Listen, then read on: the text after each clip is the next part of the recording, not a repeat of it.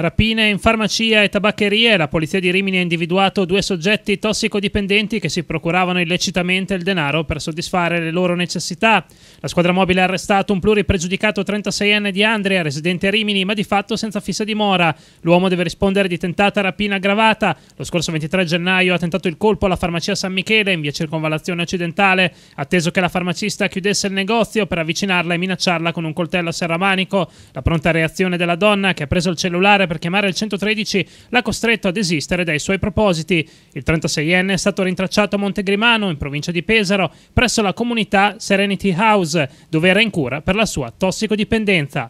Il secondo rapinatore balzato agli onori della cronaca è un riminese 25enne senza fissa dimora, in quanto cacciato di casa dalla madre. Nei suoi confronti è stato eseguito sabato il fermo di polizia giudiziaria. Il GIP però non ha convalidato l'arresto. Il quadro probatorio non sarebbe esaustivo. Le otto rapine in questione, tra tentate e riuscite, effettuate a Rimini dal 7 al 21 marzo in farmacie, tabaccherie e una lavanderia, porterebbero la firma di due individui, uno particolarmente alto, individuato nella figura del 25enne, l'altro più basso. Il modus operandi delle otto rapine è lo stesso stesso i malviventi hanno agito con il volto travisato, armati di taglierino siringa, attendendo l'orario di chiusura. Il tutto in negozi gestiti da personale femminile e in assenza di clienti. Sicuramente abbiamo già Uh, visto in diverse circostanze il risultato che può dare un buon impianto di videosorveglianza che, ci, che permette di immortalare uh, il malcapitato che appunto uh, fa ingresso all'interno dell'esercizio sicuramente con, con, un fare non lecito.